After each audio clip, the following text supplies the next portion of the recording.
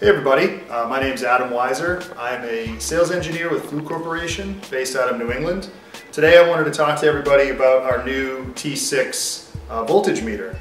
Uh, just looking at it, you guys would probably think this looks a lot like the T5 that we launched several years ago. What's different and unique about the T6 is a, a new technology that we've just launched called FieldSense.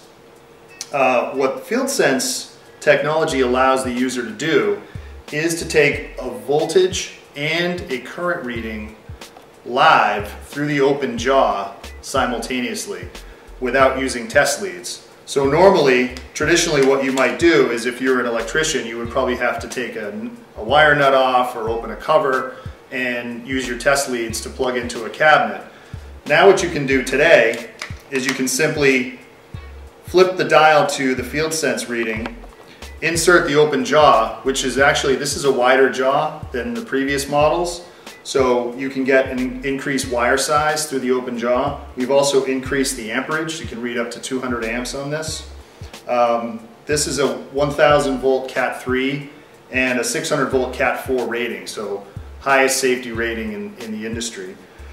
Uh, so the way that you would actually take the measurement is you would put the open jaw into your, into your wire and you would get your amps and your, and your voltage live through the open jaw. Um, simply pushing the yellow button here in the center would actually switch the reading over to hertz, so you can actually get the frequency reading as well, which is also a unique feature. So, uh, just to just in summation, this is the this is the Fluke T6 voltage tester. We actually make two different models. There's a 1000 volt version as well as a 600 volt version, depending on what your application is. Uh, these are now available through, uh, through Fluke Corporation or through your local distributor. Uh, again, my name is Adam Wysor. I am the Fluke sales engineer for New England. Thanks for watching today.